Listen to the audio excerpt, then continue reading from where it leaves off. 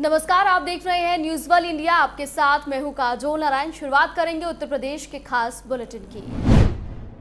उत्तर प्रदेश के विधानसभा चुनाव आने से पहले ही पार्टी के सदस्यों की भागदौड़ शुरू हो चुकी है।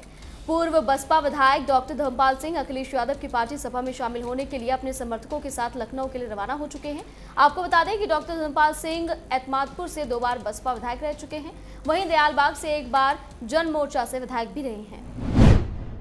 मुख्तार अंसारी, एंबुलेंस मामले में बाराबंकी पुलिस को एक और कामयाबी मिली है। लंबे समय से फरार चल रहे मुख्तार के एक गुर्गे शाहिद को पुलिस ने गिरफ़्तार कर लिया है। पुलिस ने उसे मयूर विहार से गिरफ़्तार किया। बता दें कि शाहिद फर्जी पते पर एंबुलेंस पंजीकरण मामले में आरोपी है। पुलिस ने उसके ऊपर पच्चीस हज़ार रुपए का नाम घोषित किया था। एंबुलेंस मामले में अब तक कुल सात लोगों की गिरफ्तारी हो चुकी है।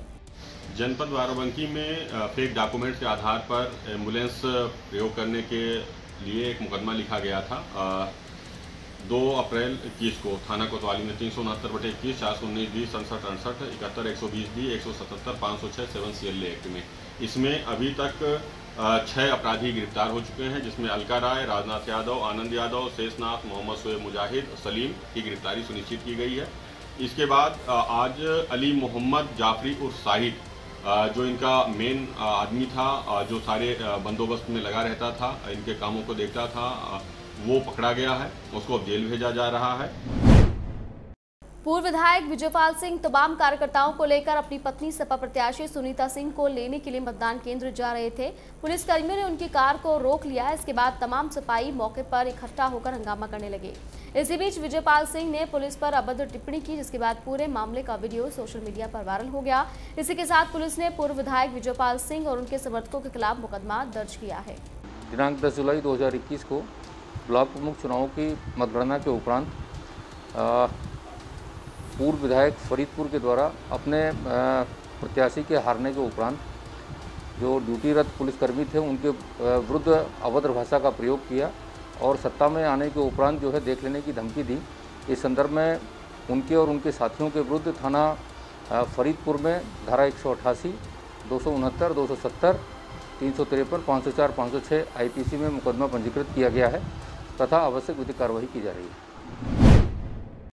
उप मुख्यमंत्री केशव प्रसाद मौर्य मुरादाबाद पहुँचे। वहीं मुरादाबाद के सर्किट हाउस पहुंचकर मुरादाबाद मंडल के लोक निर्माण विभाग, निर्माण निगम, सेतु निगम की परियोजनाओं का लोकार्पण और शिलान्यास किया। इसी के साथ लोक निर्माण विभाग की हर्बल वाटिका में वृक्षारोपण कार्यक्रम में पौधारोपण भी किया। हरदोई उन्नाव में सीडीओ की तरफ़ से पत्रकार की पिटाई के विरोध में हरदोई में पत्रकारों ने एडीएम संजय सिंह को और बगौली में थाना प्रभारी को एक ज्ञापन देकर उन्नाव के सीडीओ पर कार्रवाई करने की मांग की है।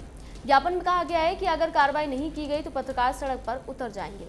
कल उन्नाव में अधिकारियों के द्वारा मारपीट की गई है। अधिकारियों को मीडिया के पर्सन के द्वारा अपना परिचय देने के बाद भी जिस तरह से सीडीओ ने उस तरह से को दौड़ा दौड़ा कर पीटा है, ये वाकई निंदनीय है। इसके विषय में हम लोगों ने आज मुख्यमंत्री जी को एक ज्ञापन सौंपा है जिलाधिकारी के माध्यम से और हम मांग करते हैं कि सीडीओ पर कड़ी से कड़ी कार्रवाई की जाए और उनके निलंबन की भी मांग करते हैं। इस पर में हम सभी पत्रकार इकट्ठा हुए और यहाँ पर आज हमने ज्ञापन कल उन्नाव के मियागंज में ब्लॉक प्रमुख के चुनाव के कवरेज के दौरान हमारे पत्रकार साथी कृष्णा तिवारी के साथ वहाँ के गुंडा सीडीओ दिव्यांशु पटेल ने मारपीट कर दी थी पुलिस बल के साथ। उसको दौड़ा दौड़ा कर पीटा। पत्रकार के साथ इस तरीके की प्रशासनिक अधिकारी द्वारा गुंडागर्दी किया जाना, ये प्रेस पर कुठारघात है। प्रेस की स्वतंत्रता का हनन है और ऐसे में उस गुंडा सीडीओ के विरुद्ध कड़ी कार्रवाई की जाए, उसको बर्खास्त किया जाए और उसके ऊपर आपराधिक मुकदमे दर्ज कर उसको जेल में डाला जाए, यही हमारी मांग है और इसी को लेकर आज हमने प्रशासन के माध्यम से माननीय मुख्यमंत्री महोदय को ज्ञापन भेजा है। अभी पत्रकारों ने एक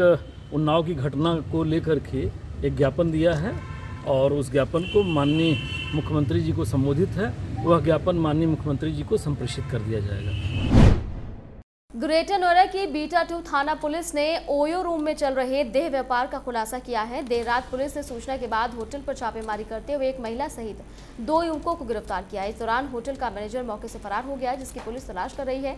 पुलिस ने इस होटल से नकदी, डीवीआर, मोबाइल और आपत्तिजनक सामान बरामद किए हैं। सेक्टर छत्तीस में एक ओयो है। उस ओयो में पुलिस को इन्फॉर्मेशन मिली थी। इस इन्फॉर्मेशन के आधार पर पुलिस ने वहाँ पर एसीपी फ़र्स्ट के नेतृत्व में, महिला उपनिरीक्षक के नेतृत्व में छापा मारा, जहाँ से एक लड़की जो फरीदाबाद से आई थी, वो पकड़ी गई है और दो लड़के पकड़े गए हैं। इनके विरुद्ध अनैतिक व्यापार निवारण अधिनियम का अभियोग पंजीकृत किया जा रहा है। ये लड़के परसों से आके रुके थे और लड़की आई थी। इनके पूरे तथ्यों का, इसमें पूरे अभिलेखों का भी परीक्षण किया जा रहा है। इसमें जो केयरटेकर है, उसकी भूमिका की भी जाँच की जा रही है। इन लोगों को अभियोग पंजीकृत करके जेल ग्रेटर नोएडा के नॉलेज पार्क थाना क्षेत्र के आईटीएस कॉलेज की कंप्यूटर लैब में सुबह भीषण आग लग गई। आग इतनी ज़बरदस्त थी कि खिड़कियों से बाहर तक निकल रही थी। आग लगने की सूचना मिलते ही फायर ब्रिगेड और पुलिस मौके पर पहुँची, जिसके बाद पहुँची फायर ब्रिगेड ने की चार गाड़ियाँ आग बुझाने की कोशिशों में जुट गई। करीब दो घंटे के जद्दोजहद के बाद दमकल की सात गाड़ियों ने आग पर काबू पाया। उन्नाव के कोतवाली बांगरमऊ क्षेत्र में कुछ दबंगों ने आपसी विवाद के चलते बेरहमी से एक अधेड़ बुज़ुर्ग की पिटाई कर दी। वहीं पिटाई के दौरान बुज़ुर्ग की मौत हो गई। वहीं इस मामले की जानकारी मिलते ही मौके पर पहुँची पुलिस ने शव को कब्जे में लेकर पोस्टमार्टम के लिए भेज दिया है और मामले की छानबीन शुरू कर दी है। ग्रेटर नोएडा में आज जो हाई वोल्टेज ड्रामा देखने को मिला, जहाँ एक विदेशी युवक अपनी गर्लफ्रेंड से नाराज़ होने पर एक निर्माणधीन बिल्डिंग के चौदहवें माले पर चढ़ गया और जमकर ड्रामा करने लगा। बताया जा रहा है कि खुदकुशी करने के लिए चढ़ा था। करीब ढाई घंटे बाद उसको जैसे तैसे समझा बुझाकर नीचे उतारा गया। यूपी के पीलीभीत में संदिग्ध परिस्थितियों में एक विवाहिता का फांसी पर लटका हुआ शव मिलने से हड़कंप मच गया। बताया जा रहा है कि ये खुदकुशी का मामला है। वहीं घटना के बाद ससुराल और मायके पक्ष ने एक दूसरे पर आरोप लगाया। फ़िलहाल घटना की सूचना पर मौके पर पहुँची पुलिस ने शव को कब्जे में लेकर पोस्टमार्टम के लिए भेज दिया और मामले की जाँच पड़ताल में जुट गई है। पंजाब काम करने गया है उसका उस- उसके अंदर काम करने करने गया है पंजाब ले धान कढ़ाई और उसकी बहू जो घर पे नीरज देवी है ही उस दिन सुनील ने उसके साथ बलात्कार करो फिर वहाँ पता लगा फ़ोन तो छब्बीस तारीख को वापसी आया फिर हम थाने आया थाने में पुलिस ने रिपोर्ट वोट ना लिखी और उसने कही हुई कि हमारी रिपोर्ट ना लिखी गई तो हम आत्महत्या अपनी कर ली है और आज उसने आत्महत्या कर ली है। हेन से ले गए लिवाए के अब होन ले जाएगा मार डारी ले जाएगा किसने मार दिया? इन्हीं लोगों ने मारी दमाद ने और उनके घर वाले ने। कहाँ ले जाके मारा है? घर में अपने।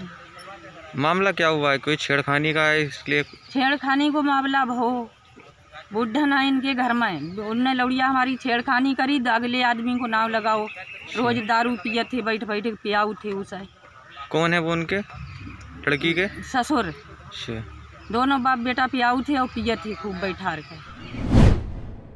हरदोई में जिला महिला अस्पताल में डॉक्टर की एक तरफ़ एंबुलेंस कर्मी से अभद्रता और मारपीट करने के मामले में सभी एंबुलेंस कर्मियों ने इकट्ठा होकर जिला महिला अस्पताल में जमकर हंगामा किया।